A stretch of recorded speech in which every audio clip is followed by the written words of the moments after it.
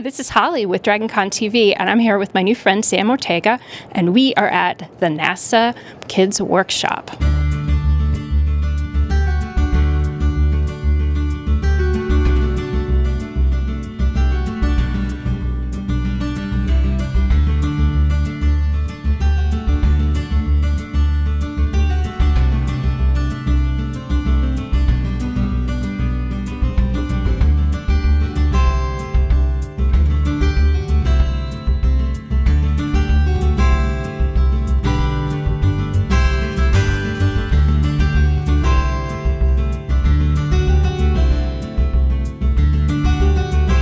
Can you tell me some other things about the space track and what, what's going on in here today for the kids? Yeah, absolutely. So here at DragonCon 2018, the space track uh, Rain runs that for us, Rain Glenn, and so we're really kind of excited about the opportunity to um, bring kids in and give them some hands-on experience here in the space track. So we've done some panel talks, um, talking about different aspects of what's going on in space exploration.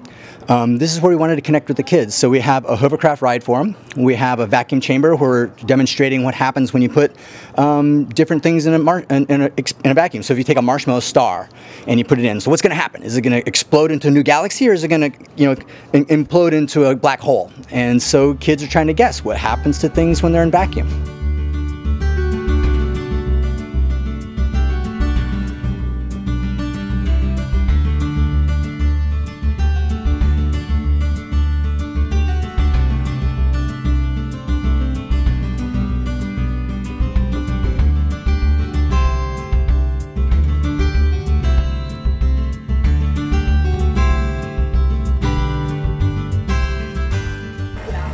Ingrid, what did you just watch?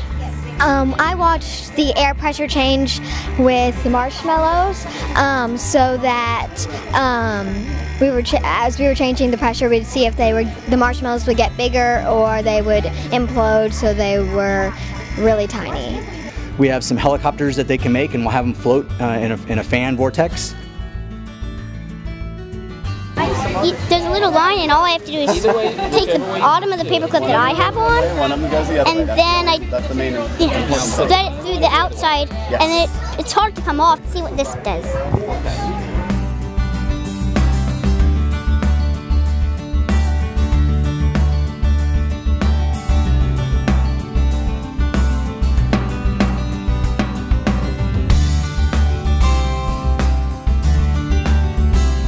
This is Rebecca signing off from DragonCon TV.